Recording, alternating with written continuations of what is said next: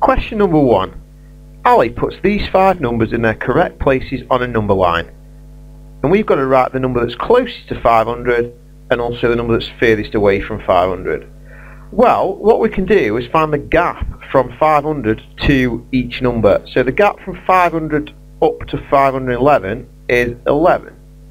The gap from 500 down to 499 is just 1. From 500 to 502 is 2. From 500 to 555 is 55. And from 500 to 455, well, if you can do it in your head, that's great. You should get that it's just 45. But let's say you couldn't do that in your head, because that's the hardest one to do in your head.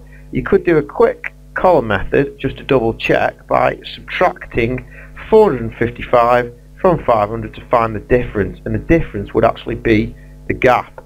So 0 take away 5 you can't do, so you need to borrow from this 0 here. But you can't borrow from 0 because there's nothing there. So you need to go to the next column, which is the 5, and borrow from there instead. So if you borrow 1 from the 5, that becomes a 4, and the one you borrowed turns this 0 into a 10. But that's still no good to us because this is still 0. So we need to borrow one from this 10, which now becomes 9, and the one we borrowed makes this 0 on the end into a 10. Now we can do it because the 0 on the end has now become a 10. So 10 take away 5 is 5, 9 take away 5 is 4, and 4 take away 4 is nothing. So the gap from 500 down to 455 is 45, which is what we set up here.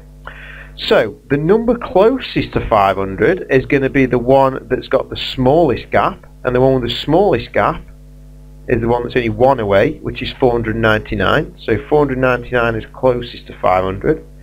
And the one which is furthest away from 500 is going to be the one with the biggest gap.